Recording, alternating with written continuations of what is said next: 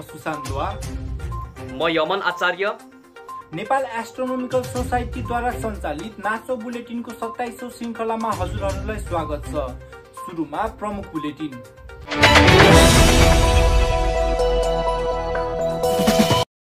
आठौँ राष्ट्रिय एस्ट्रोनोमी ओलम्पियाडको छनौट परीक्षा सम्पन्न। जुन तिसमा अन्तर्राष्ट्रिय क्षुद्र ग्रह दिवस। इन्जिनिटीले पुरा गर्यो आठौँ उडान।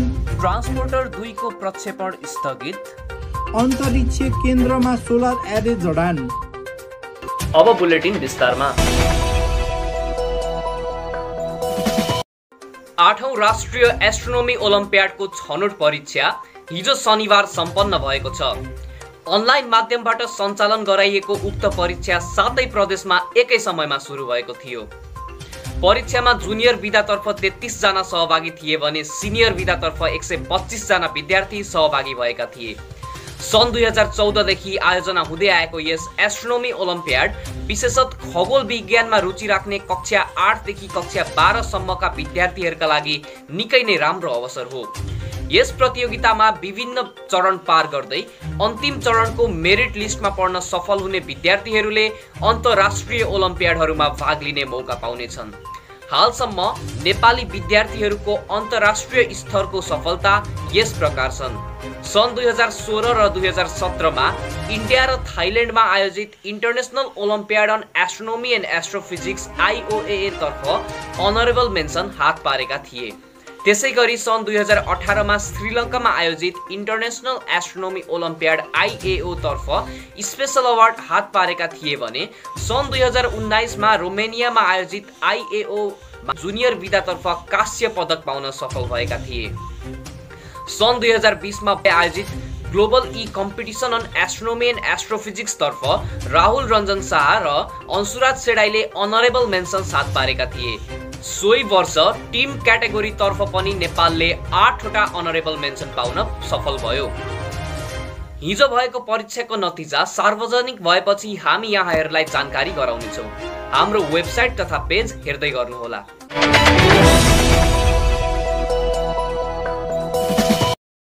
यही बुधबार जुन तिसमा इन्टरनेसनल एस्ट्रोइड डे मनाइँदैछ। सन् दुई हजार चौधमा संयुक्त राष्ट्रिय सङ्घले क्षुद्र ग्रह प्रभावको जोखिमबारे जनचेतनाका लागि हरेक वर्ष जुन तिसका दिन इन्टरनेसनल एस्ट्रो डे मनाइने भनेर स्वीकृत गर्यो।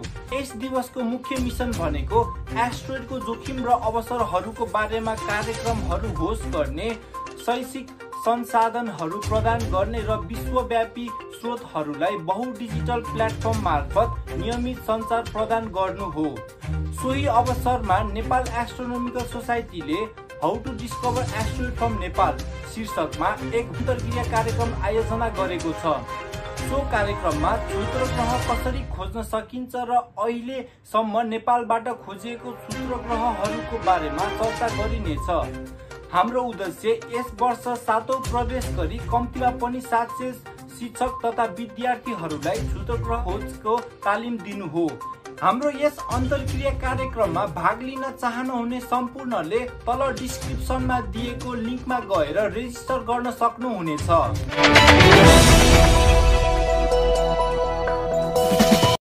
नासाको प्रयोगत्मक मार्स हेलिकप्टर इन्जिनिटीले जुन एक्काइसका दिन आठौँ उडान पुरा गरेको छ जससँगै वैज्ञानिकहरूले आशा गरे भन्दा टाढाको यात्रा गर्न सफल भएको छ यस उडानमा इन्जिनिटी सतहत्तर पोइन्ट चार सेकेन्डसम्म उड्यो र एक सय साठी मिटरको यात्रा गरेर अवतरण गर्यो। हाल यस हेलिकप्टर पर्जर्भेरेन्स रोभर भन्दा एक सय तेत्तिस पोइन्ट पाँच मिटर पर छ। इन्जिनिटी एक टेक्नोलोजी डेमोन्स्ट्रेसन प्रोजेक्ट हो जुन पर्जर्भेरेन्स रोभरसँगै मङ्गल ग्रह पठाइएको थियो र यसले मङ्गलको सतह फेब्रुअरी अठारमा छोएको थियो।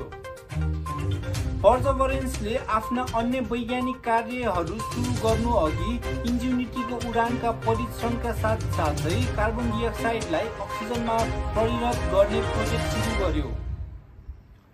यस आठौँ उडान सहित हाल यस हेलिकप्टरले बिना गल्ती जम्मा दुईवटा उडान गर्न सफल भएको छ। इन्जिनिटी मूल रूपमा केवल पाँच पटक मात्र उडान गर्न डिजाइन गरिएको थियो तर यसको स्थिर सफलताले एजेन्सीलाई आफ्नो अभियान विस्तार गर्न र अझ महत्वाकांक्षी उडानको परीक्षण गर्न उत्साहित गर्यो।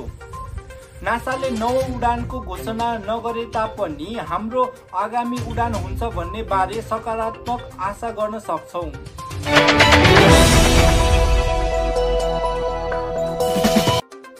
स्पेस एक्स फाल्कन नाइन रकेटले प्रक्षेपण गर्ने भनिएको ट्रान्सपोर्टर दुई मिसन स्थगित भएको छ। शुक्रबार जुन छब्बिसमा प्रक्षेपण गरिने भनिएको सो मिसन कहिले प्रक्षेपण हुन्छ भनेर मिति भने तोकिएको छैन। प्रक्षेपणको पूर्व तयारीमा बढी ध्यान दिनका लागि समय थपिएको र चाँडै नै मिति घोषणा हुने जानकारी प्राप्त भएको छ।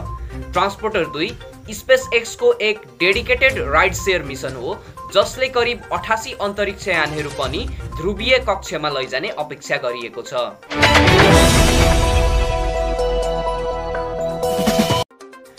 दुई अन्तरिक्ष यात्रीहरूले इन्टरनेसनल स्पेस स्टेसन आइएसएसमा दोस्रो नयाँ सोलर एयरवे जडान गरेका छन्।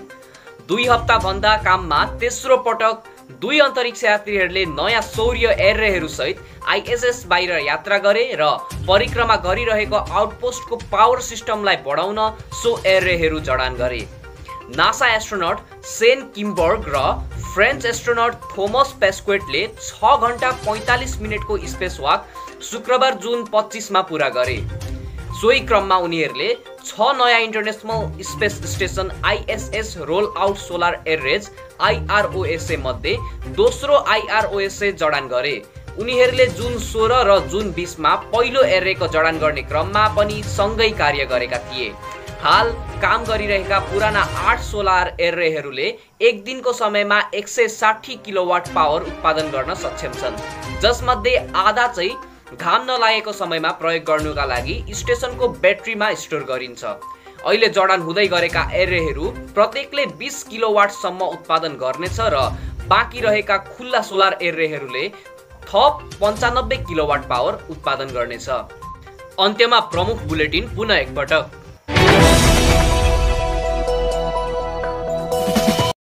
आठौँ राष्ट्रिय एस्ट्रोनोमी ओलम्पियाडको छनौट परीक्षा सम्पन्न। जुन तिसमा अन्तर्राष्ट्रिय क्षुद्रग्रह दिवस। इन्जिनिटीले पुरा गर्यो आठौँ उडान। ट्रान्सपोर्टर दुईको प्रक्षेपण स्थगित। अन्तरिक्ष केन्द्रमा सोलर एरे जडान। तपाईँहरूलाई आजको बुलेटिन कस्तो लाग्यो? तल कमेन्ट बक्समा गई आफ्ना अमूल्य धारणाहरू व्यक्त गर्न नभुल्नुहोला। त्यसै गरी नेपाल एस्ट्रोनोमिकल सोसाइटी नासोको अफिसियल युट्युब च्यानललाई सब्सक्राइब गर्न नभुल्नुहोला। हाम्रो यस बुलेटिन तपाईँहरूले हाम्रो पात्रो एप मार्फत पनि हेर्न सक्नुहुनेछ। अर्को हप्ता नयाँ बुलेटिनको श्रृङ्खला लिएर यहाँहरू समक्ष उपस्थित हुने नै छौँ। तबसम्मको लागि हामीलाई बिदा दिनुहोस्। धन्यवाद।